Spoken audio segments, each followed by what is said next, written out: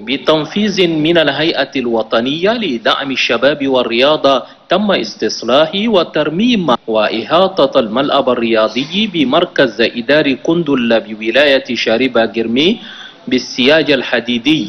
وذلك من أجل السماح للشباب مزاولة أنشطتهم الرياضية بالصورة المطلوبة. وتقدر مساحة الملعب بأكثر من تسعة آلاف متر مربع. حيث شهدت مناسبة تسليم الملعب الرياضي عدة مداخلات منها كلمة مسؤول مركز إداري كندل الذي شكر السلطات العليا في البلاد على اهتمامهم بقطاعي الرياضة والشباب. منسق الهيئة الوطنية لدعم الشباب والرياضة.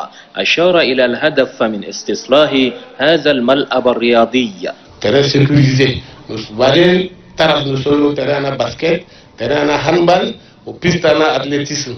Donc il y a un jeune da a l'école pour la sa main d'un terrain, au qual a dit main d'un terrain da boju so entraînement fi terrain da.